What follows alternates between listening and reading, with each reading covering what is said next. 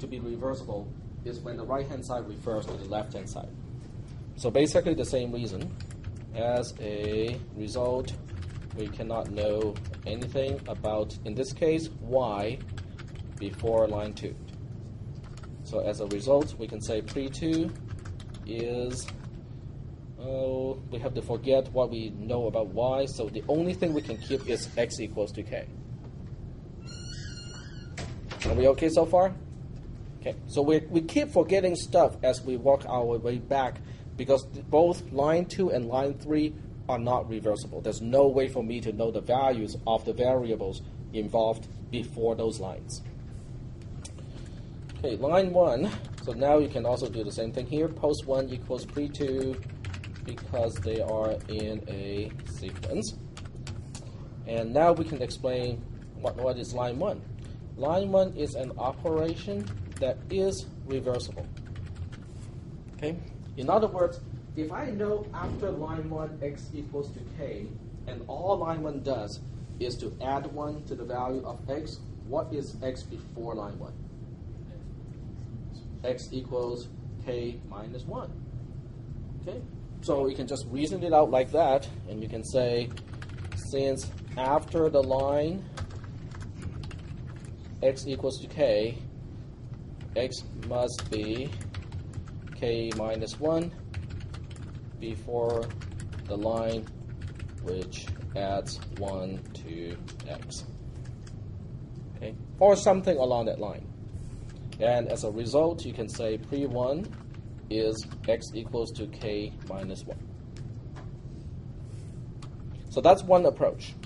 The other approach is to say, I have a strong suspicion that the precondition of everything is really just x equals to k minus 1. Okay, now based on that assumption, you can move forward.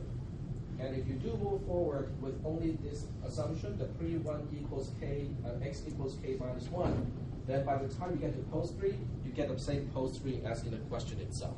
So that's also another approach to do it. Okay, any questions about that?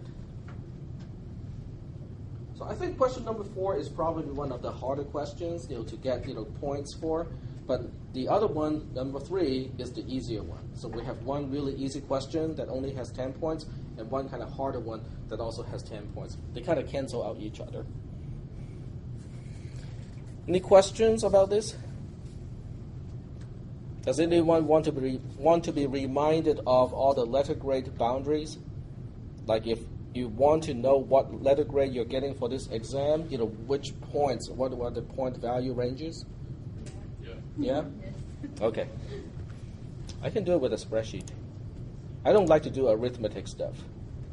okay, so we start with 0.125, and then the next one is 0.375. The nice thing about spreadsheets is they kind of understand what I'm talking about. So once I give it two values and I say, oh, go by the same increment, it actually understands what those increments are. And I want to insert a new row like that. Um, so in this column here, I will specify the, the point values. So in this case, it has 60 points for the total. And now I can say this one is A2 times B dollar 1 I'm just being very lazy. So these are all the boundaries. Anyone with seven with less than 7.5 points out of 60 will get an F. People who are getting between 7.5 but less than 22.5 points will get a D. So to pass this class, someone will need to have 22.5 points or more to get a C out of this test. 37.5 points or more is a B, and 52.5 points or more is an A. I think that's it's not easy to fail this test. I, I would say it's someone can still fail the test, but it, it's not easy. I mean, if you think about it, question number three all by itself is 10 points, right? So that immediately puts someone into a range of D. Just by answering one question the easy one. And D is not failing, by the way. Did you guys know that? Do you guys know the, the meaning of the grades? A is what? A is excellent. B is good. C is actually satisfactory. Believe it or not, C is satisfactory. D is unsatisfactory but not failing, and F is the only failing grade. Unfortunately, universities don't look at it that way. if you get like straight all C's, you know, in a in a transcript, the university will not say satisfactory. They will say it's not satisfactory. it is called grade inflation. Okay, so do we have any questions about letter grade equivalence of this test? How many points is their name worth? if it's missing, then it's worth nothing. okay, any other questions? No other questions? Okay, well, it's going to take me a while to grade it because of all the way that I'm breaking it down for partial credit. You know, partial credits are really hard you know, on the instructor you know, or the per- person who's grading it. Okay, any other questions about the test?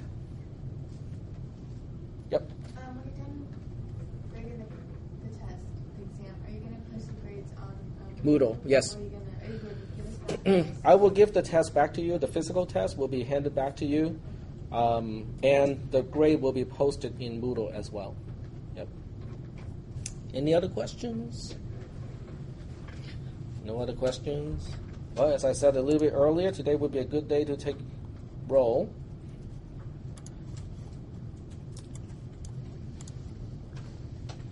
We haven't done that for a long time.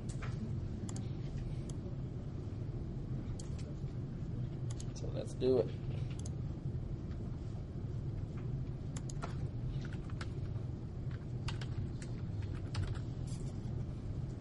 And we'll see how many people are on the roster but not here today.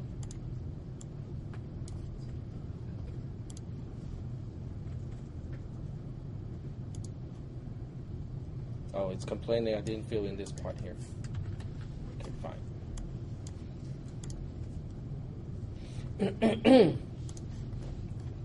okay, let's try to be quick here. Tamber, I don't think he's here, or he or she. I got an email. You know, uh, this person was involved in an accident and could not arrange a ride to, to school. So, um, Dion, Dion Bell. Okay, Clark. Thank you. And here, Stanton. Thank you. William Childs. Thank you. Colton. Thank you.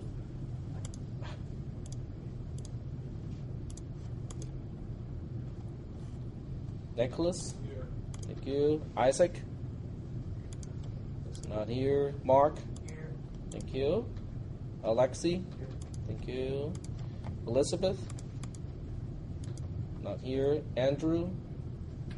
Andrew Francis. It's not here. Stephen. Here. Thank you. Angelina. Thank you. Um, you're. Is that here or not? Oh, yep. Okay. Double checking. Thomas. Here. Cortland. Here. Adrian. Here. Thank you. Chris Martin. Not here. Russell. Here. Thank you. Um, Karen? I think she's missing. She's usually at the front. Teresa? Okay. Then, okay. Troy? Here. Thank you. I'm here. Okay, thank you. Dominica? Thank you. Oh, okay. Andrew? Is Andrew here? Hello? Fabian? Okay, Fabian. Kept mispronouncing it. Samuel? Here. Okay, thank you. Mew? No. Absent. Monique? Here. Thank you. Roman? Thank you. Taryn? Here. Thank you. Mohammed, Tahir, we're seeing Here. Bernadette is here, Joseph, Joseph White, not here, Christopher Wright, thank you, and Crystal is here. Excellent. So what I'll do is I'm going to see if there's any correlation between absences and the result of the midterm. and then I will just, you know, kind of mention to people who are missing you from the class and say, well, you know, it may be in your best interest to drop the class. If there's a correlation, of course. Okay, are there any questions before we move on? Are we done with pre and post conditions? We won't see that again until the final exam. so it will come back. It will come back, but only in the final exam. If you are a programmer or planning to become a programmer or a, a computer scientist or pursue a career career in in that area, the pre and post conditions won't come back at all in the form that we talk about in the class. But the skills that you use to analyze your program, that you truly understand what it means, okay, when I'm here, this is the condition. Can I get go back in time and deduce the conditions earlier on? Those skills will still be useful in debugging a program. Okay? So I just want to make sure that you guys understand that the pre and post conditions by themselves are not as useful, but the skills that you under you, you demonstrated or that you learn when you're dealing with pre, and post conditions will be useful. So after that, we are now on to top-down design, and I cannot remember how much we got into it. I think I used Google Map to demonstrate, you know, the whole idea of top-down design, and I also mentioned the fact that top-down design is not because the limit of the limitation of the computer. The computer can handle a lot of details, you know, at the same time. If you look at databases, it can deal with millions or even billions of entries without you know making a single mistake. But how many things can you remember at a single at a particular time? How many phone numbers can you memorize, like given 30 seconds? phone numbers or IP addresses, that sort of thing. Not a whole lot. That's why we have domain names instead of using IP addresses, right?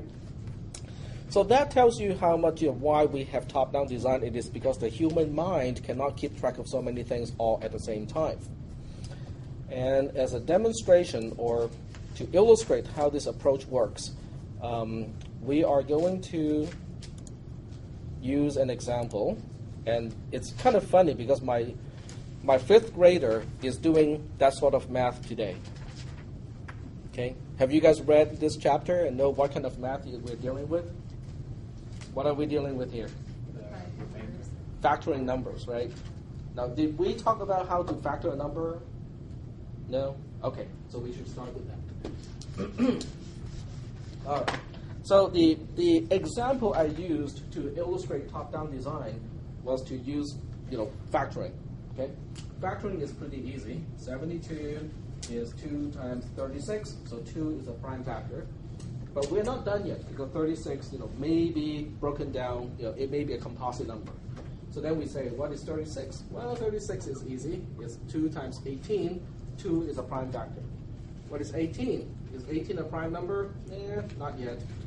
Okay, it is 3 times 6. Okay, well, this time I pick a 3. The order is not important. I just want to, you know, make sure I can list all the prime factors of a number.